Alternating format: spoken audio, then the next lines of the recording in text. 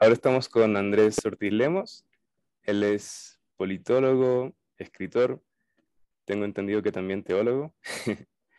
Em, y bueno, básicamente lo que vamos a estar haciendo durante estos minutos es tratar de profundizar o comprender quién es realmente más allá de, de lo político y de lo de Facebook, digamos, quién es Andrés Ortiz Lemos. Entonces comenzamos con Martín, que él se encargará más que nada de, de lo político, de tu identidad política pasada.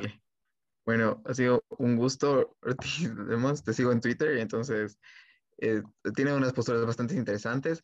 Y en cuanto a la postura política quiere el pasado, si antes fuiste tal vez ah, marxista o no y que cambió tu trayectoria política eh, eh, y no sé, cuéntanos sobre tu trayectoria política, ¿pasa algún tal vez hito que hizo que, no sé, dejes de ser marxista, liberal? A ver, yo estudié en un colegio público del Ecuador, un, conocido colegio público que es del Instituto Nacional Mismo. Y ahí eh, básicamente lo que nos dan es materialismo dialéctico, materialismo histórico, marxismo, y esa, esa fue básicamente nuestro currículum.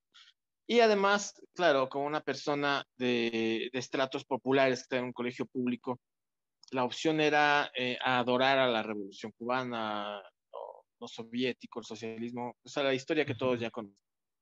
Y básicamente después, eh, ya en la época universitaria, mmm, es como que era la tendencia natural ser de izquierda. La verdad es que yo fue muy tardía mi apertura de ojos con respecto a esa ideología, más por pereza, más, por, más porque yo era una persona demasiado perezosa para profundizar las cosas. Pasó un evento medio anecdótico en el 2010 y fue que la señora Cristina Kirchner quiso hacer un bloqueo a las Islas Falklands, o lo que le dicen las Islas Malvinas, quiso bloquear, que quería que no entre alimento, medicinas, eh, tener a las personas de esas islas completamente aisladas del mundo para obligarles a través de la violencia, de un bloqueo de ese tipo, a que se hagan argentinos.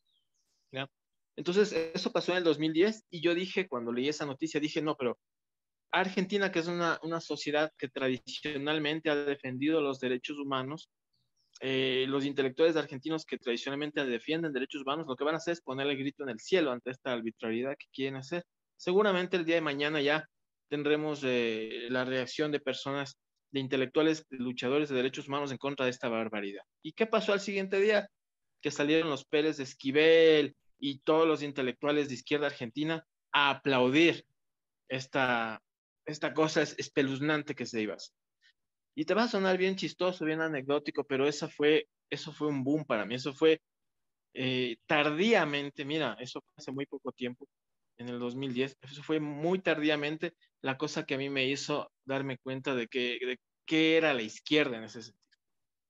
Una doctrina absolutamente totalitaria que quería eh, privarle de los derechos elementales básicos a un grupo de personas, básicamente por haber estado en un territorio desde 1833. O sea, y ya el Ecuador está desde 1830 existiendo como Ecuador. Esas personas están desde 1833 con su propia identidad como eh, Falklanders, digamos. Y al ver que los intelectuales de izquierda se unieran en un puño para defender eh, que se pueda utilizar la fuerza para estas personas, eso es, te va a sonar muy tonto, pero eso es lo que me hizo darme cuenta que probablemente la izquierda no era la maravilla que yo había pensado, y más por pereza que por otra cosa. Ahí empecé recién a informarme de algo que debía haberme informado muchísimo antes la lectura de cómo los autoritarismos generan el fenómeno al que yo le, le, denomino el síndrome de los monstruos buenos. ¿Cómo puede ser desde un discurso eh, que defiende supuestamente derechos humanos o defiende la justicia, cómo desde ahí se pueden generar grandes arbitrariedades? Y me topé, claro, con los casos que ya son lugares comunes, ustedes saben de memoria, los casos de Pol Pot, de la Revolución Cultural China, del salto hacia adelante chino, los gulags soviéticos, todo lo que pasó en Europa del Este, Nicaragua, Venezuela, Cuba, todas esas cosas que son lugares comunes, que ustedes ya conocen al dedillo, es algo que yo recién eh, me puse a profundizar hace muy poco tiempo. Y a leer, porque además en las universidades, especialmente en el ámbito de las ciencias sociales, no existe literatura disponible para saber qué pasó, para leer eh, la historia de una manera más o menos objetiva. Lo que tenemos son generalmente aquí en Estados Unidos y en otros países generalmente las carreras de humanidades están llenas de elementos ideológicos que te impiden ver la realidad como es, como un tema objetivo. Fue una de las razones por las que dejé a la izquierda. Suena bien tonto. Y de hecho lo es. Eh, me parece muy triste, me da un poco de vergüenza eh, confesar que yo me volví un crítico de la izquierda por un evento tan tonto, tan, tan coyuntural, pero esa es la verdad. Esa es, en mi caso, la razón por la que yo me di cuenta de que eh, estaba detrás de los, de los socialismos y de los discursos socialistas. Exactamente. Y usualmente se cree que a veces las obras de arte tienen una postura política, como que ahora dicen que también lo personal es político. En tu caso, ¿ha sido eso? O sea, tus obras de arte en ficción han tenido una postura política, han ido cambiando eh, tal vez con tu cambiar del pensar político. En general, no. Eh, digamos, bueno, yo recién acabo de terminar una novela y ahorita está, estoy conversando con algunas editoriales. Digamos que es como la primera vez que siento que escribí algo que podría ser que valga la pena ahorita, pero desde la perspectiva política, no, no creo que el tema literario nunca haya tenido que ver con nada político, por lo menos en mi caso, y es porque eh, las artes nunca deben ser pasquines, o sea, yo disfruto mucho de, escritores que eran de, de, izquierda, por ejemplo, yo a García Márquez le volví a leer recién este año, después de haber hecho una pausa de casi 20 años desde que leí Cien años de soledad, más de 20 años, ¿no? Yo había leído a García Márquez, Los Cien años de soledad, eh, La crónica de una muerte anunciada, La historia del náufrago, bueno, hay otras, otras obras de él, ¿no? La, autobiografía, Los cuentos peregrinos, bueno, no, te voy a, no voy a poner a, darte la lista, pero me había gustado mucho cuando era joven, ¿no? Cuando estaba en mis 20, yo le admiraba mucho a García Márquez. Después, eh, antes, ¿no? en adolescencia le admiraba mucho a García Márquez y después le dejé de leer, ¿no? Por, por tiempo, ¿no? Y ahorita, ¿no? Ah, en este momento de mi vida decido leerle a García Márquez otra vez y diciendo, bueno, seguramente lo que va a pasar es que voy a decepcionar. Y no, leí El amor en los tiempos de cólera hace muy poco tiempo, meses, y gratamente me sorprendo de la, de la gran calidad de autor que es García Márquez, que realmente es alguien que trasciende cualquier posibilidad de estar vinculado a la izquierda. Lo mismo pasará con, los Juan, con Juan Rulfo, por ejemplo, ¿no? y con otros grandes autores que no tienen nada que ver su inclinación política. Lo que pasa es que ellos nunca hicieron pasquín de su trabajo. La obra de García Márquez no es un pasquín. Hay pasquines eh, eh, que defienden ideas parecidas a las que yo podría promover ahora, que en cambio tienen, tienen una calidad muy inferior. Te puedo hablar de Ayn Rand. La rebelión de Atlas es un libro escrito por una persona genial, digamos, muy talentosa, pero es un bodrio. Es un libro muy malo, La rebelión literaria, literariamente. La rebelión de Atlas es un libro filosóficamente a nivel de, desde la perspectiva académica, muy profundo, muy bueno, uno de los libros más importantes que he leído en mi vida, pero es un libro malísimo. ¿Por qué es un libro malísimo? Porque es un pasquín. ¿Ya? Y así como hay pasquines de, diferentes perspectivas, también hay pasquines de izquierda, liberales, de derecha. Generalmente los pasquines no son buenos artísticamente, ¿no? Entonces hay un problema. Ahora estoy leyendo otro pasquín escrito por un autor muy talentoso que se llama Vasily Grossman. Ese libro se llama Por una causa justa y es un libro por encargo que, le piden a Vasily Grossman para que describa la batalla de Stalingrado. Y es un libro que además tiene 16 versiones y está súper cortado por la censura soviética. Y aún así, mira tú, a pesar de que es un pasquín, a pesar de que pasó por la, por la censura soviética, es un librazo, es un, un libro que pretende ser el equivalente a Guerra y Paz de León Tolstoy, pero en el siglo XX, describiendo la Segunda Guerra Mundial. Ahora, una cosa pasa con Vasily Grossman, es que después de escribir este libro, él escribe otro libro que se llama Vida y Destino, donde ya critica a los soviéticos, entonces ahí sí ya le censuran y le persiguen a él en la Unión Soviética. Pero, solo por decirte que muchos grandes autores que en su momento fueron de izquierda, como, como, como estos que te mencioné, sí son bastante valiosos, ¿no? Y pueden trascender el tema ideológico. Entonces, en ese sentido, yo sí lo que te podría decir en, mi perspectiva de la literatura es que generalmente nunca me meto con temas políticos ni nada de ese tipo, ¿no? Es entendible y también en caso, ponte en, el caso económico, eh, ¿crees que la economía individual, la microeconomía de cada persona determina su postura política o no? A ver, esa es una excelente pregunta, ¿no? Eh, muchas personas son austriacos sin saberlo, diga, ¿no? alrededor de la Universidad Central, cuando nosotros íbamos a la Universidad Central, antes yo no sabía ir muy temprano para evitar el pico y placa, me, me parqueaba a las 6 de la mañana en los alrededores de la Universidad Central y desayunaba con un dólar. ¿Por qué desayunaba con un dólar? Porque había un montón de señoras de ideología austriaca ahí. Una vendía guatita, otra vendía bolón, la otra vendía un eh, desayuno, de empanadas. Y como competían entre ellas eh, y la calidad de sus productos y además las elecciones personales de las personas que iban a desayunar ya definían cómo ellas tenían que estar eh, transformando sus negocios. Entonces el resultado era que tú puedes desayunar con un dólar, lo cual es una belleza. Entonces estas personas te pueden explicar mejor de economía que un economista. Hay economistas que pueden enredarse en un, mar de libros y no tienen idea de economía. Y hay muchísimos. Pues, por supuesto, no voy, a, no voy a mencionar. Pero a veces, cuando tratas de enredar la cosa, no entiendes nada. Y eh, esencialmente la economía es una manera de vivir y de entender la subsistencia. Y estas personas lo entendían muy bien. O sea, e, estas personas podrían dar, es así, cátedra de economía, ¿verdad? O sea, personas que tienen que subsistir día a día con las decisiones individuales de las personas. Entonces, en ese sentido, yo lo que creo, verás, mm, quisiera decir una cosa, ¿no? Mm, una cosa son las ideas, una cosa son las decisiones personales que tú tomas a lo largo de tu vida, una cosa es la formación, una cosa es incluso la erudición y otra cosa es la ideología. ¿Qué es la ideología? La ideología es un eh, método, un atajo que utilizamos los seres humanos para no tener que pensar.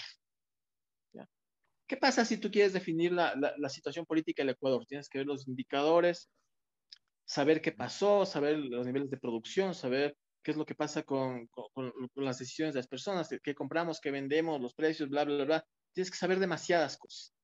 ¿Qué te da la ideología? La ideología te da un camino fácil, la ideología te da una consigna y a través de la consigna tú simplemente rechazas eh, las decisiones o el pensamiento complejo y simplemente te adhieres a una doctrina. Por lo tanto, el día a día de las personas no necesariamente define la ideología. Mira lo que te estoy diciendo. Voy a tratar de, de ser más claro, tal vez no fui tan claro. El día a día de las personas no define su ideología. El día a día de las personas define su forma de ver la vida, incluso puede definir sus ideas, pero no su ideología. ¿Qué define la ideología? Generalmente la ideología es definida por doctrinas casi religiosas que son aprendidas de memoria por intereses políticos específicos para no tener que pensar. Un intelectual que vive cómodamente eh, mientras otras personas asumen sus gastos, que no tiene que arriesgarse, él puede tener una ideología. Un sindicalista que se beneficia de los intereses, eh, que tiene intereses políticos y se beneficia del número de seguidores que podrá tener, él tiene una ideología. Un agitador social puede tener una ideología. Pero una persona que vive en el día a día, ¿no? Y que tiene que depender de sí mismo, de sus propios recursos para vivir o malvivir o, o vivir mejor, ese es como que deja, por, deja la ideología por, eh, por momentos y más bien eh, asume ideas, asume compromisos de vida. La ideología no es lo mismo. Entonces, la actuación de una persona a su trabajo más bien le saca de la ideología. Una persona que tiene que trabajar para vivir y que sabe que va a vivir mejor si trabaja mejor, ese más bien se va a alejar de las ideologías lentamente, porque la ideología es un placer, básicamente. Andrés, una consultita y porque sí, sí me llama la atención. Perdón, Martín. Em, o sea, en tal caso, por ejemplo, si es que, o sea, ya teniendo en claro lo que, no, lo que nos comentas, si es que a ti te dijeran, entonces, oye, ¿y qué ideología tienes? Seguramente entendería que responderías que no tienes una. O no sé muy bien cómo responderías esa pregunta. Primera parte. Y la segunda, en tal caso, ¿cuáles serían como estos em, valores o, sí, valores o que te mueven en sí en el día a día? ¿Cuáles podrían ser en tal caso si es que no te manejas por una ideología como tal? Seguramente debo, debo tener varias ideologías por ahí. O sea, no estamos libres de las ideologías. las ideologías están rondando en torno a nuestro, somos como un pez en una pecera, ¿no? De ideologías. Es permanentemente hay ideologías. Yo sí soy, por ejemplo, sí me, muchas veces puedo considerar que puedo reproducir ideas de otros autores. Eh, hay un autor que admiro mucho que es Thomas Sowell, que es este gran economista norteamericano, un gran economista unos grandes economistas que ha tenido Norteamérica. Entonces hay muchas de las ideas de él, bueno, no son necesariamente ideas, ideas eh, elementos del sentido común, elementos del liberalismo que manejará él, que yo tomo, ¿no? Y que muchas veces replico. Y a veces las replico como fórmula. Yo también caigo en eso, porque es imposible que en cada palabra que des esa palabra esté completamente saturada de la argumentación concreta para que no sea ideológica. Entonces yo también puedo caer en ideología. Entonces, ¿cuál es lo que tal vez podría ayudarnos a entender esto? Es que no estamos libres de repetir ideologías, pero por lo menos debemos reconocer que podemos repetir ideologías. En el, dentro del liberalismo puede haber ideologías, sí, de hecho puede haber muchas ideologías. La idea sería entender que no deberíamos eh, permitirnos imponer las ideologías de los demás, imponerlas a través de la amenaza, imponerlas a través de la fuerza, sino saber que existen y saber convivir con ellas. Por si aparece una cosa mejor que el liberalismo, para tener sistemas políticos eh, que te permitan, mira, lo redundante, voy a tener que ser redundante, pero lo que trato de decir exige esa redundancia. Si existen doctrinas políticas que generen mayores libertades que el liberalismo, mira la tautología que acabo de decir, pero me es indispensable decirlo. Si existen doctrinas políticas que generen mayor prosperidad, ¿no? Que las libertades económicas clásicas, ¿no? De los que están en los libros. Entonces, eso, ese sería el camino. Woody Allen tiene una película que se llama eh, Cualquier cosa que funcione, se llama. Así se llama. Entonces, cualquier cosa que funcione whatever works. Cualquier cosa que funcione, eso será, digamos, algo que yo seguiría, ¿no? Si ahorita viene alguien con una idea, una doctrina que pueda sacar de pobreza, sacar de la pobreza al mayor número de personas en menos tiempo, yo seguramente me haré fan de esa, de esa cosa porque eso funcionará mejor. En este momento lo que estoy defendiendo es lo que funciona mejor. Y lo que sí tengo claro es que los socialismos no funcionan, por lo menos. Eso tengo claro. Mises. Bueno, y también con respecto a, o sea, esta fue la idea de invitarte porque sabemos que es un tema coyuntural ahorita, no tal vez en Ecuador, pero sí en Latinoamérica, en Argentina, que vendría a ser este boom liberal. Entonces, no sé, tal vez puedes tener diferencias con Javier Milei. ¿Qué similitudes puedes encontrar en este personaje? Tal vez ves en algún personaje ecuatoriano, y eh, no sé, ves algo positivo, esta no digamos este fenómeno, mi ley, que también eh, despierta un montón de jóvenes. No sé, ¿qué, es tu opinión de esto? En general estoy de acuerdo con muchas de las cosas que dice mi ley, pero hay una cosa en la que yo no estoy de acuerdo con él y es sí soy definitivo, y es que es demasiado blando con los zurdos, demasiado amable con los en serio, aún así. en, ese, en ese sentido. en ese sentido, ¿tú te pondrías en tal caso más, más radical que mi ley o qué onda?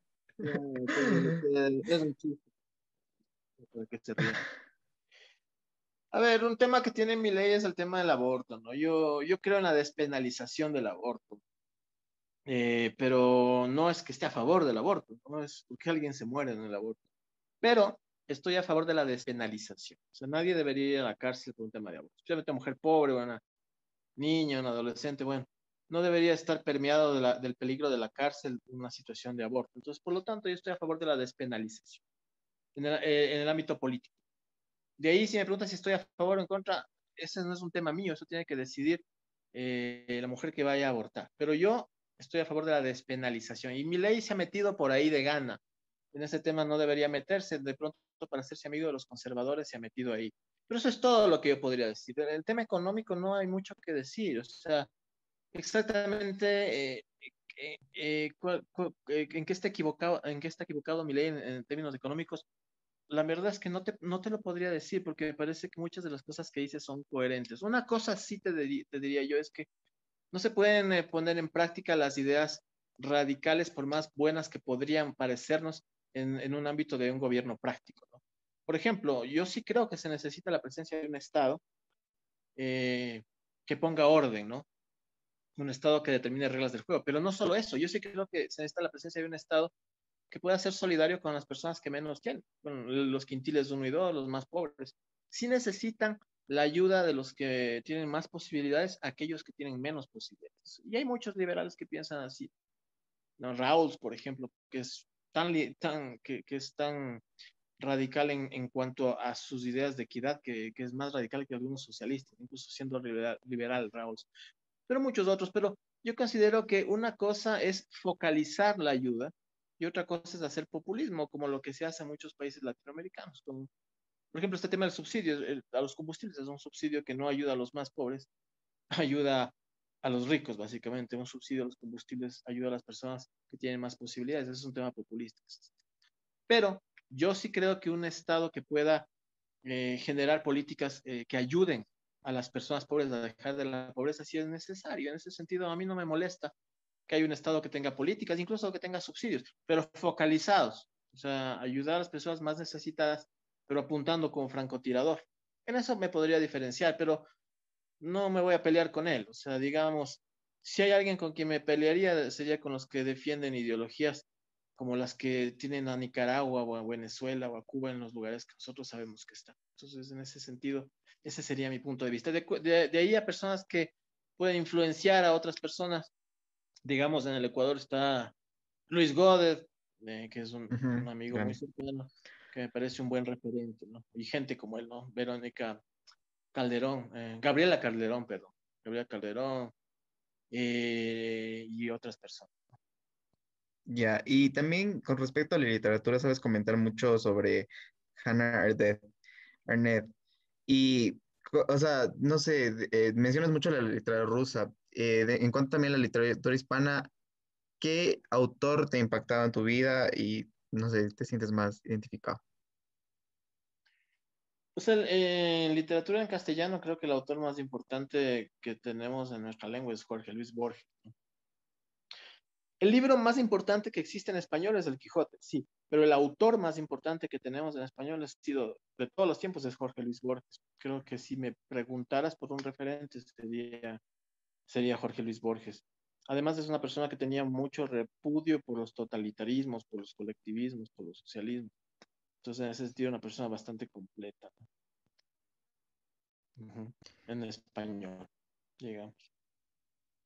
Bueno, eso creo que debería ser mi parte de la entrevista política. Entonces, eh, seguimos, no sé quién va, creo que Raúl, con religión o Isaac. Sí, sí, sí. ¿Qué tal, Andrés? Bueno, ahora queremos hablar tu parte religiosa, espiritual, si le podemos decir así. Así que mi primera pregunta es eh, si consideras importante haber estudiado teología para tu vida actual. No. no sirve para nada la teología. Es una ciencia inútil, no es una ciencia, no es una filosofía absolutamente inútil. Pero las cosas no se hacen por su importancia necesariamente. Eh, no, no es importante el tono de un atardecer, o sea, un atardecer puede ser rojo, rojo, azul, ¿no? Digamos, eh, gris. La verdad es que esos matices no generan mayor importancia, ¿no? En el destino de tu vida, pero hay una belleza. En ese sentido, yo soy un poco kantiano, ¿no? Sigo las premisas de Manuel Kant de la importancia que tiene eh, la estética con la filosofía. Entonces, yo considero que haber estudiado teología para mí fue una experiencia estética, fue una especie de búsqueda de un bien mayor y esa búsqueda de bien mayor tuvo eh, connotaciones más bien artísticas y más bien estéticas de mi vida. Entonces, eh, Dios representa más que un tema práctico, representará la belleza. Tú tienes COVID y te vas a morir, te puedes poner a orar y a rezar y a leerte el catecismo, igual te vas a morir. Y a veces las personas no entendemos, nosotros pensamos que el tema de la religión es una cosa práctica, ¿no? que si tú manejas borracho y ya cuando te vas a chocar, te pones a orar, ya te vas a salvar. No, igual te vas a chocar. No hay una gran diferencia práctica en, el tema religioso con respecto a las decisiones de tu vida. Más bien es un tema trascendente que está más allá de, si algo es práctico, de si algo sirve para algo o no. Yo considero que haber estudiado teología para mí fue eh, más bien impráctico, porque en vez de haber estudiado teología, podría haber estudiado, puesto a estudiar medicina, odontología Entonces, para cerrarlo más claramente, evidentemente la religión tuvo un rol diferente. Sirvió. En lugar de eso, me puse a estudiar teología, me sirvió para ah. nada, básicamente. Y, eh, sin embargo, y no tuvo eh, connotaciones prácticas para mí beneficiosas, ¿no? Yo hubiera estudiado odontología mejor. Pero es un tema espiritual y trascendente el de la religión. No lo haces porque te sirve, lo haces por un bien mayor, digamos. porque hay un bien mayor ahí. Entonces, para es una, pregunta, una respuesta, ácida, ¿no? En cierta parte, sí, total. O sea, buscando una respuesta más directa, podríamos decir, bueno, no sé, por eso te pregunto, que evidentemente el rol de la religión tal vez cambió en ti al, de, al haber estudiado esto. Sabes que eh, sí, eh, creo que es la mejor versión de mí mismo, digamos. Eh, el cristianismo no es algo que te hace mejor que otras personas. El cristianismo es algo que te hace mejor de lo que tú serías si no, si no estuvieras dentro de este alineamiento filosófico teológico que es, que es la religión en ese caso. Entonces digo que sí cambió con relación a mí mismo, ¿no? Digo, yo soy creyente, tengo una creencia ortodoxa, ¿no? En la resurrección de Cristo, todo lo que creen los, los cristianos, creo yo. Pero yo no voy a la iglesia, o el domingo me da sueño, que me voy a estar levantando para irme a la iglesia, me, quedo dormido. Eh, no me gusta la música cristiana, por eso no voy a la iglesia tampoco. Eh, generalmente no, no tengo relación con otros cristianos desde hace mucho tiempo. Eh, no hago teología, estudié, alguna vez me, me, interesó la teología, pero no, no es algo que hago ahora. Entonces es un, es un viaje muy personal, ¿no? Pero en todo caso, el tema espiritual en mí es, es, es, algo que como que esa búsqueda ya se acabó. O sea, yo no estoy en búsquedas espirituales ni nada, porque en mi caso, por lo menos es ese ámbito, yo ya le tengo resuelto. Si me ha servido o no me ha servido, bueno, eso ya habría que ver, ¿no? Eh, al final de la vida y todo, pero por lo menos esa búsqueda en mi caso es, es algo que ya, que ya he dejado de, de hacer, ya he dejado de buscar, digamos. Eh, ¿Crees que existió o hubo alguna relación entre tu posición liberal para acercarte al cristianismo? O, tal vez Hola, eh, no, no, no me convertí al cristianismo siendo liberal. Eh, yo llegué al cristianismo joven, muy joven, y no, tenía mucha idea. Yo más bien era nietzscheano, ¿no? Era muy admirador de la filosofía de Nietzsche y de ese tipo de pensamiento. Entonces no, no tenía mucho que ver el liberalismo. Más bien, como te digo, eh, el liberalismo que no es, no es que me apasione a mí ninguna doctrina, pero yo me identifico con el liberalismo desde hace muy poco tiempo alrededor. Te digo que me hice muy crítico de los totalitarismos y de los socialismos en el 2010 recién. Entonces es bastante reciente. Y de todas formas, tampoco soy un defensor a ultranza de, de estas, de, de, ninguna ideología, ni siquiera de las ideologías liberales. Recién tuve una reunión que organizó la Universidad Francisco Marroquín en Guatemala y había un montón de liberales de, varias partes del mundo, en Europa, de América. Y conversé con ellos muy enriquecedor, aprendí mucho, se, interactué con varias de estas personas. Y me di cuenta de que por lo menos algo tiene liberalismo y es que no te trata de, de adoctrinar, ¿no? O sea, no es que, no es que es una especie de, de secta como si, como si son los socialismos. Y en ese sentido eso ha sido bastante confortable para mí, ¿no? Pero no, eh, no es algo que me ha influenciado en el tema espiritual ni en el tema religioso en ninguna medida. Eh, bueno, eh, previamente Martín te había, había, sacado el tema de, del aborto un poquito, pero a mí me gustaría profundizar en esto y es ¿Cómo has logrado compaginar tus valores cristianos con estar a favor de la especialización del aborto? Y qué quiero preguntarte en esto, si realmente existe alguna relación entre estos dos o es muy aparte tu posición en con el cristianismo a la postura política que vas a tener sobre esto. Eh, verás, hay un, hay un libro de un autor francés que se llama Victor Hugo, eh, Los Miserables, ¿no? Y ahí hay una escena de un juicio, ¿no? Se está enjuiciando a unos personajes. Pero ahí se llega a una paradoja, y la paradoja es que uno de los personajes tiene que mentir para salvar a alguien. Y mentir es una transgresión, es algo, mentir es algo que sabemos que es un delito, digamos. Pero en ese caso, eh, se comete este delito, pero para salvar a alguien, para hacer el bien. Eso me recuerda una frase de un teólogo alemán, que es este teólogo que organizó el atentado para asesinar a Hitler, que se llama Dietrich Bonhoeffer, eh, este teólogo dice, es mejor la mentira en la boca de un hombre bueno que la verdad en la boca de un perverso. La verdad en la boca de un perverso puede ser más nefasta que una mentira en la boca de un hombre bueno. En ese sentido, a veces hay que ir más allá de las doctrinas, incluso el tema religioso. ¿no? no me parece que la solución sea meter a la cárcel durante varios años a una mujer que ha tenido que abortar por una necesidad, como pasa en Centroamérica, ¿no? Parece que eso sería mm, eso sería empeorar las cosas, ¿no? Eso no significa que no haya muerto alguien durante el proceso de aborto, significa simplemente, o, no simplemente, sino que significa que hay cosas peores incluso, ¿no? Por un lado. Y por otro lado, yo no soy nadie para estar lanzando la primera piedra de nada, ¿no?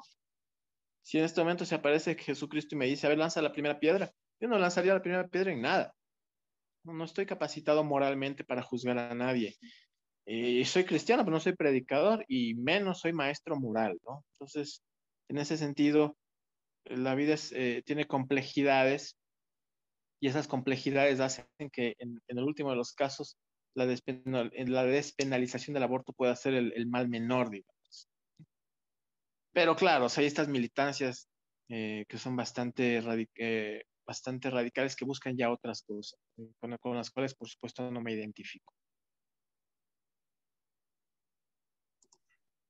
Eh, tengo una última pregunta acerca de esto. Eh, mantiene un poco la línea, pero vamos a cambiarle tal vez un poco de lo religioso a lo espiritual. Y es entendiendo que mantener una postura espiritual o religiosa determinada te permite estar más consciente de, de algunos aspectos de la vida sobre otros, como pasa. O si cambia la perspectiva sobre una cosa frente a la vida. Y mi pregunta es si ha cambiado de alguna manera las cosas que tú has creado de acuerdo a los cambios espirituales o religiosos que has atravesado. Eh, en el ámbito artístico, pienso que no, no mucho, ¿no? Porque lo, artístico, digamos, hablo de la literatura, ¿no? Que, que, en algún momento escribí ciencia ficción. Y recién acabo de escribir una novela, digamos, que estoy ya hablando con algunas editoriales, pero en ese sentido no creo que el tema político me haya influenciado. De ahí el tema de mis trabajos académicos, probablemente tengo otro tipo de visiones ahora, eh, un poco distintas a las que tuve en el momento en que, en que escribí algunos trabajos. Por ejemplo, tengo un trabajo sobre sociedad civil que escribí en el 2014, que en este momento le completaría mucho más con otros, otras perspectivas ¿no? de la vida. Pero eh, digamos que las ideologías trato de que no me influencien en mi trabajo más serio, ¿no? digamos. Las ideologías me influencian para escribir tweets, digamos, que es un ámbito mucho más ligero de la vida. No escribes un tweet, pero el tweet no refleja tu trabajo académico ni refleja tu trabajo artístico, es un tweet. Y eso es lo que más se viraliza en nuestro contexto, digamos. Pero mi trabajo serio no es tan influenciado por ideologías como si es a veces esa faceta medio chimba de escribir tweets. Bien, ahora sí ya nos metemos un poquito más de lleno a esto artístico y voy un poquito repreguntar en tal caso lo que, lo que decía Raúl. Y la pregunta más que nada está enfocada a esto que mencionabas tú de lo, trascendente que puede existir en la teología, en la espiritualidad, en, en ser creyente, ¿no? Entonces, a lo mejor es un poco obvia la pregunta, pero en ese sentido, no sé, si sientes tú que si de todas formas lo espiritual te permite estar más consciente de aquello trascendente, de cómo las cosas pueden ser más bellas, tal vez, eh, es algo bastante emocional a fin de cuentas. Entonces, lo creativo también es emocional. Entonces, no sé si por ese lado a lo mejor sientes o te has dado cuenta, hubo algún cambio en las cosas que, que a lo mejor escribes o tocas, o incluso consumes, no sé. trato, trato de no ser emocional en las cosas importantes. Verás, ahorita estoy, hay un tema que me importa mucho ahorita y es algo que ya te mencioné antes y es el síndrome de los monstruos buenos. Recién acaban de tratar de, de arrestaron a un tipo en México, un tipo de apellido Granda, que fue un militante de las FARC. Este tipo, este monstruo, secuestró a una mujer eh, de Paraguay, ¿no? Hija de un expresidente de Paraguay. Se la secuestró, le tomaban fotos para extorsionar a su familia, la violaron, la torturaron. Finalmente, luego de sacarle dinero a su familia, la enterraron viva, embarazada, víctima de las violaciones que tuvo. Este tipo, este monstruo, este tipo que se parece a Pinochet, a Videla, a todos los grandes dictadores, este, este criminal, es considerado por la izquierda colombiana como un héroe. Y de hecho él trabajó en las negociaciones de paz para las FARC. Entonces en México le trataron de arrestar, pero se puso el grito en el cielo, ¿no? Estos, los intelectuales de izquierda pusieron el grito en el cielo y dijeron que este era un héroe. ¿Por qué es un héroe? Porque él había sido uno de los negociadores del Tratado de Paz, Con las FARC. Entonces, tal vez, si me preguntas a mí, tal vez lo que me ha hecho más, el, más sensible al cristianismo es a identificar la perversidad de los que se hacen llamar buenos. Los monstruos buenos. En el paro de Colombia personas que mataban bebés en las ambulancias. En el paro de Colombia hubo personas que violaron mujeres policías, que torturaron policías, que decapitaron eh, conductores de motos, pero ellos son buenos, son considerados que son unos héroes en la lucha contra el capitalismo. Ese fenómeno me interesa mucho. Y ahí sí, la teología me ha ayudado mucho a entender cómo personas que se autodefinen como los buenos suelen ser monstruos, suelen ser los más perversos. Esa perversidad que nace en procesos como la Revolución Cultural China, donde a nombre del bien común se mataron millones de personas. Ese discurso buenito de los buenitos que te están corrigiendo siempre todo, que son buenitos, que esos, esa perversidad disfrazada de lo bueno, eso me parece lo más oscuro y es el fenómeno más complejo con el que nos vamos a enfrentar en el siglo Pero es difícil. Vivimos en, un contexto ecuatoriano, es un contexto sin academia, básicamente, es un contexto eh, donde no hay debate. Tú puedes escribir varios libros, pero como que eh, la gente que te critica por los libros que has escrito no los ha leído.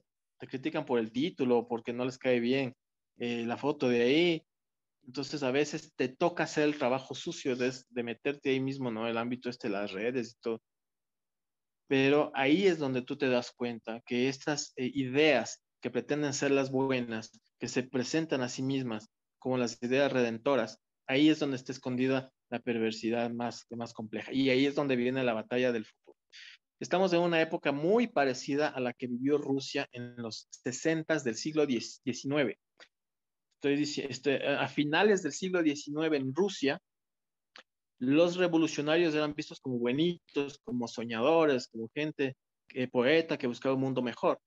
Y eh, 20 o 30 años después tuviste la revolución rusa y los cientos de millones de muertos, ¿no?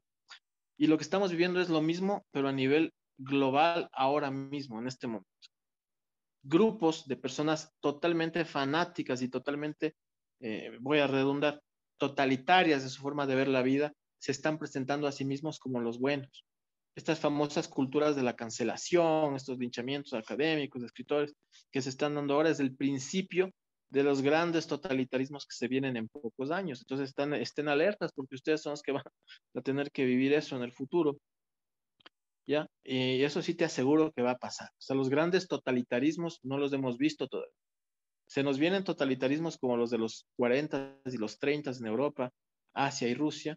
Esos totalitarismos son la sombra de lo que va a venir en el futuro con todo este movimiento que ya estamos viendo ahora, una cultura woke, toda esa cosa.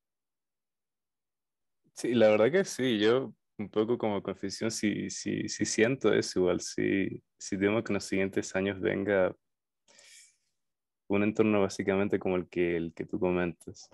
Y me voy a poner bastante más personal y fatal en este momento, pero puta, en tal caso, si es que tan horrible se ve el futuro. Te pregunto porque ya a veces, a veces sí me cuesta incluso en lo personal responder esta pregunta, pero ¿qué carajo te mantiene con vida en tal caso? Y un poco lo digo eh, porque un poco en, nuestra investigación, eh, no sé si tenga algo que ver, pero tú comentabas que la lectura no debía ser un acto de evasión, pero recientemente en uno de tus posts en Facebook mencionabas que en efecto empezaste a hacer eso, que la lectura la empezaste a ocupar como algo de evasión. Entonces, no sé si... ¿Perdón? Procrastinación. Procrastinación. no evasión. A ver, sí, sí hay lectura de evasión, El Señor de los Anillos, ¿no? Literatura fantástica, que a mí me gusta también, la ciencia ficción, que yo he escrito de ciencia ficción. Pero no, yo no estoy hablando de eso, yo estoy hablando de la procrastinación. Estoy hablando, por ejemplo, estoy escribiendo un libro sobre la filosofía de Wittgenstein aplicada a la política, pero ya va años con ese libro. Y el 2020 decía que yo ya iba a acabar ese libro. El problema es que eh, mis fichas de lectura ya tienen más, casi 400 páginas solo de fichas de lectura. Entonces es un monstruo eso que ya me, ya me, ya se convirtió en una tarea más penosa leerme las mismas fichas de lectura de los libros que ya había leído que escribir. Entonces yo ya es como que entré en un momento en que ya quedé atrapado entre tantas lecturas, ya no, ya no podía salir. Entonces llegó un momento en que tienes que parar de leer. Porque si, si no ya leer es una forma así, bueno, ahí sí retomo tu palabra, leer es una forma también de evadir, ponerte a trabajar. No puedes escribir sin leer, porque no puedes exhalar sin inhalar, no puedes solo exhalar aire, algún rato tienes que inhalar. Entonces no puedes escribir sin leer. Una persona que no lee no, no puede escribir nada, no, no, ¿qué va a escribir? Pero en algún momento tienes que dejar leer y ya ponerte a escribir, porque también si no lo haces, también estás evadiendo. Yo le, como, yo le comentaba a mi novia, ayer estábamos hablando, y, de un libro de Jordan Peterson que se llama eh, Maps of Meaning, ¿no? Que es un libro que tiene una vasta erudición sobre un montón de temas. Y yo le decía, este tipo se tardó alrededor de 15 años en escribir ese libro y le entiendo, o sea, este tipo de libros requieren una lectura de cientos de otros libros. Entonces, yo le entiendo que se tarde 15 años. Y yo le cambio de tema y le digo, en cambio, escribir un panfleto como la dialéctica de ilustración de Adorno, los trabajos de Marcuse, panfletos así. Yo podría escribir un libro de en tres meses, le dije, cierta, en cierta forma en chiste y cierta, en cierta forma en broma. Un libro de opinión, un libro panfletario, como los que escriben en la Escuela de Frankfurt, son libros que vos te sientas a opinar y después de opinar, opinar, opinar, ya tienes publicado el libro. Eso es también como hacer trampa, ¿no? En cambio, estos otros libros donde vos tienes que tener eh, los argumentos completamente fundados en un, montón de, en un montón de textos de información, esos te llevan años. Pero por otro lado, ese tipo de trabajos eh, te pueden hacer caer en una especie de abismo negro, porque puedes estar atrapado entre lecturas y tranquilamente puedes hacerte la paja mental de pensar que por leer estás haciendo trabajo intelectual, que no es cierto. No hay que caer en esa trampa, hay que leer. Vean, aquí está mi gato Patuli que ya les vino. Hay que leer, sí lean todo lo que quieran, pero no caigan en la trampa de pensar que simplemente leyendo ya se va a generar producción intelectual, porque entonces ahí la lectura se puede convertir en una evasión. Si te pasas pensando que por el hecho de leer ya estás haciendo producción intelectual, ahí puedes caer en otra trampa. Y esa otra trampa es la de pensar que no necesitas tú generar tus propias ideas. Entonces hay que tener un balance sobre eso. Vaya. Sí está fuerte eso, sí está interesante. Eh, es que claro, el intelectual latinoamericano típico se pone a recitar los libros que ha leído y me parece muy bonito. Pero es que cualquiera de ustedes puede hacer lo mismo, hijos. O sea, ustedes han tenido dos años de pandemia. Lo único que tenían que haber hecho es bajarse un montón de libros de bibliotecas virtuales y leer y están a un nivel de un profesor universitario en lecturas. Y les aplaudiría por eso. Lean todo lo que quieran, pero es una paja mental pensar que porque te pones a hablar de los libros que has leído, ya estás haciendo trabajo intelectual. No estás haciendo trabajo intelectual. Estás haciendo la mitad del trabajo intelectual. La mitad del trabajo es leer pero la otra mitad del trabajo es poner la fábrica a, trabajar y generar las, las, las ideas, no ideas eh, de opinión, como las de la Escuela de Frankfurt, ¿no? Aprovecho para mandarle la mierda a la Escuela de Frankfurt siempre que puedo. No ideas de opinión, sino ideas fundadas en argumentos, pero en algún momento hay que parar también eh, la evasión de estar solo leyendo y ponerte a producir. Pero ese es el problema en el que estamos ahorita muchos. Yo estoy ahorita empantanado. Yo reconozco que en este momento estoy un poco empantanado en esa etapa, ¿no? Y esa es mi, mi, propio, mi propia crisis de la pandemia, ha sido eso. Sí, bueno, sí, creo que bastante estamos en ese, en ese tipo de situación. Esta parte que dices tú de, de, de crear, bueno, de escribir, no solamente leer, yo lo intento poner como sinónimo escribir igual crear, y ese crear pues en un sentido como que un poco más amplio, pues retomando esta idea del arte como tal. Em, no sé, hay, han habido momentos en los que has sentido que la escritura, más que nada la creativa, tratando de a lo mejor escaparse aún más, o no escaparse aún más, sino como de ya estar bastante harto de tanta teoría, de tanta cosa que literal es como que sí llega a ser complicado de entender en realidad, porque son demasiadas referencias y es muy fácil empantanarse, perderse. Entonces, eh, para darle sentido a todo lo que digo, esta parte de crear, ¿sientes tú que a lo mejor em, no sé, pueda tener más sentido en lo personal si es que se manifiesta de una manera como que más creativa, ficción, no sé, música.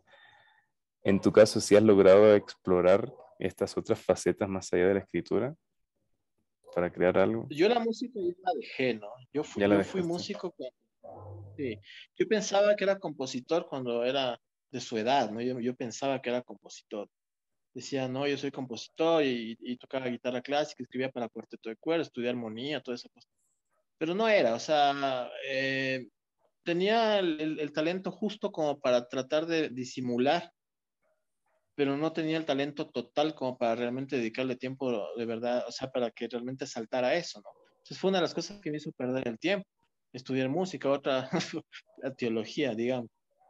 Bueno, son cosas que tienes que experimentar, ¿no? En mi caso yo experimenté así cada quien tiene su camino. Lo único que te aconsejaría es que, claro, cuando trabajas en una cosa, tienes que eh, hacer los horarios en tu vida, en tu año, en tu día, en tu semana, para que el día en que estás trabajando un tema, te dediques solo a ese tema, ¿no? Y después ya cojas, asumas los otros temas. Es un consejo, porque cuando uno trata de acaparar muchas cosas al mismo tiempo, me pasa lo que me está pasando a mí en estas semanas, estoy congelado y tengo tantas ideas y proyectos que ya deberían salir que ya me, ya me congelo porque se, se ponen unas frente a otras de ahí y no te dejan moverte, ¿no? Entonces ahorita estoy más bien tratando de, nadar, hacer ejercicio para dejar eh, esa etapa de lado. Pero sí es eh, complejo, ¿no? Sí es, es, complejo. Sí, la verdad que sí. Em, cambiando un poco la temática, y un poco también relacionada a esta parte musical, que si bien nos dices que ya, ya la dejaste, pero igual, no sé, me da curiosidad. ¿Existe o existió tal vez alguna canción, algún álbum, alguna pieza eh, actual o histórica que, no sé, pensaste, puta, me hubiera encantado haberla componido, compuesto o, no sé, haber sido parte de la creación de esa, obra, ¿hay alguna obra que, que te cause envidia la autoría, digamos? ¿Y por qué? Oh, claro. Eh, tal vez The Final Cut de Pink Floyd es, es, una obra extraordinaria. Muchas personas piensan que las mejores obras de Pink Floyd son The Wall o The, eh, Dark Side of the Moon o Wish You Were Here, pero la que yo creo que es la, la obra cúspide de, de, la, del trabajo poético de Roger Waters es The Final Cut donde habla acerca de, los sueños rotos de la posguerra, ¿no? En Inglaterra. El trabajo de Electric Light Orchestra también me parece fascinante, ¿no?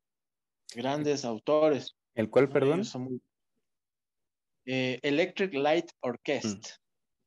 Mm. Ellos eh, tienen trabajos buenísimos, son muy, muy buenos realmente. El grupo Yes, eh, trabajo de, Steve Bay, bueno, y los Beatles, evidentemente.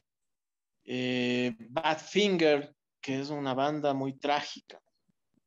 Sí, me gusta mucho, ¿no? Hay muchos autores bastante buenos. La música tiene bastante, bastantes recursos importantes, ¿no? En ese sentido le doy la razón a Schopenhauer, ¿no? Schopenhauer dice que es fatal, eh, eh, es, cíclico el universo, ¿no? Y es, es, es fatal estar atrapados en esta rueda eterna, pero que lo que te puede redimir es la belleza artística. Eso dice Schopenhauer, ¿no? Y después eh, las ideas de Schopenhauer serán, caricaturizadas por Teodoro Adorno. Pero bueno, la idea sería que eh, la belleza, en cierta forma, sí te ofrece una salida, una, redención. Te puede humanizar la belleza. El otro día leí una cita de un autor llamado Richard Bach, que no es un autor erudito, no es uno de los grandes autores para presumir de su erudición, y no es, no es Dostoyevsky, es un autor medio ligero, gringo, que se llama Richard Bach, que escribe sobre aviones y sobre gaviotas. Pero este tipo dice, es, es, un, es, es, un, ideal, dice. La humanidad no es una ontología, ¿no? la humanidad no es esto, no es, eh, no es, no es, ni siquiera es la política ni las personas, es, la humanidad es un la humanidad es un horizonte, la humanidad es una cosa hacia dónde ir. Me gustó mucho esa frase del tipo, realmente creo que por ahí podría estar. Y la belleza, la estética es como que nos muestra en cierta forma una clave para humanizarnos. En ese sentido, eh, ¿cuál ha sido la obra de arte en general, sea musical, sea literaria, sea del tipo que sea película, lo que sea? ¿Cuál ha sido la obra artística que, digamos, más te ha humanizado, que más te ha sensibilizado? Humanizado, creo mejor. A ver, mis dos novelas favoritas, digamos, son Los Hermanos Karamazov de Dostoyevsky, donde te muestra lo que es el infierno, y Guerra y Paz de Tolstoy, donde te muestra lo que es el infierno, pero León Tolstoy por lo menos te deja una ventana abierta hacia la redención, que no tiene Dostoyevsky. Dostoyevsky tiene una buena descripción del infierno, pero le faltó mostrarte que el ser humano no solo es infierno. En la literatura de Dostoyevsky solamente se muestra el infierno del ser humano.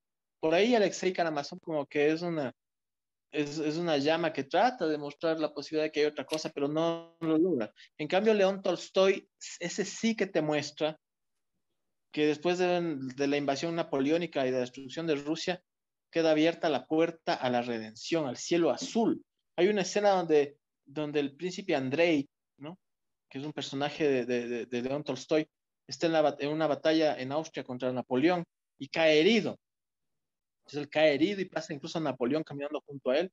Y, y, el príncipe Andrei ve para el cielo, ve hacia arriba y se da cuenta que las nubes y la claridad del atardecer son indiferentes a la muerte que se está dando en la batalla.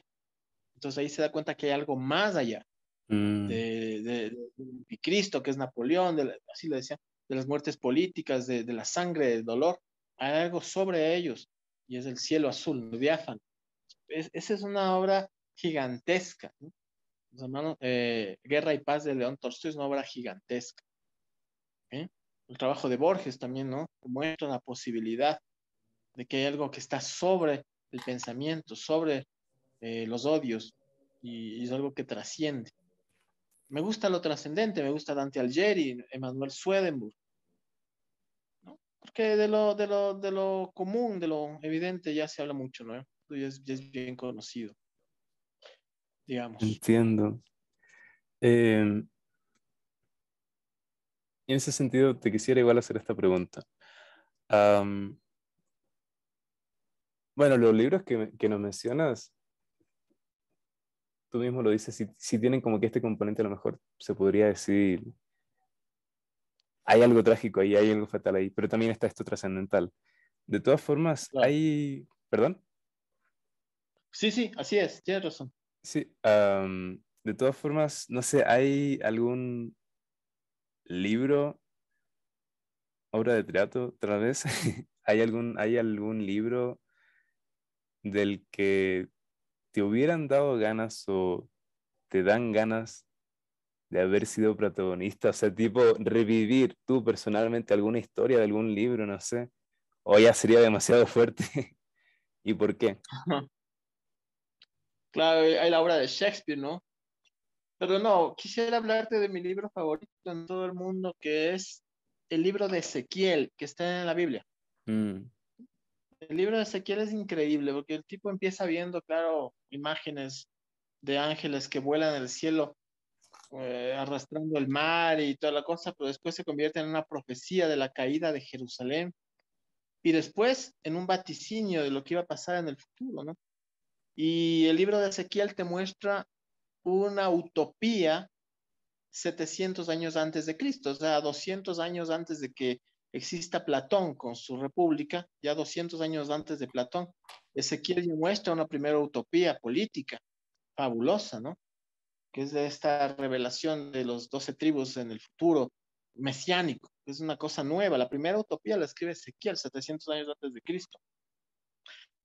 Y es una, una epopeya ese libro. Entonces, esa es la posibilidad de entender los futuros posibles y los pasados posibles.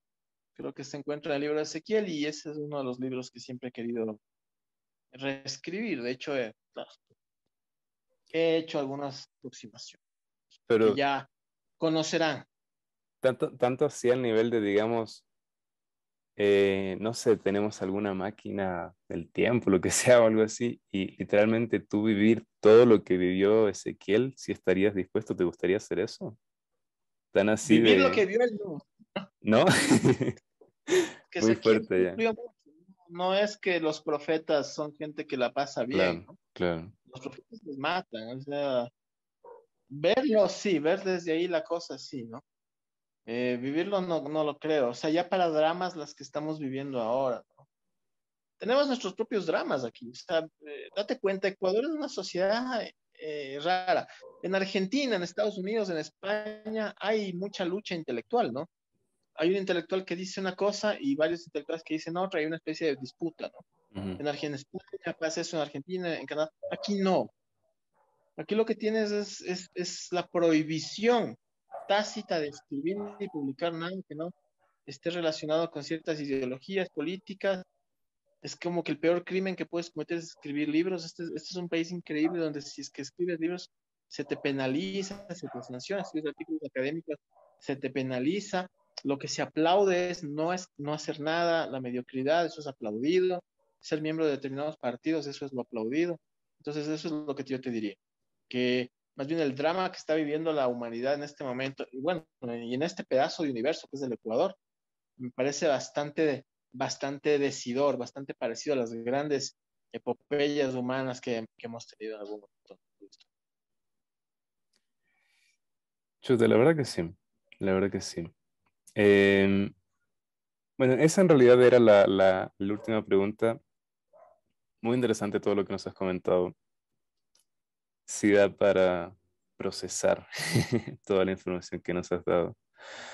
Eh, pero no sé, hay tal vez a lo mejor alguna cosa, algún comentario, alguna frase o algo así que te gustaría añadir, destacar, rescatar de toda esta existencia.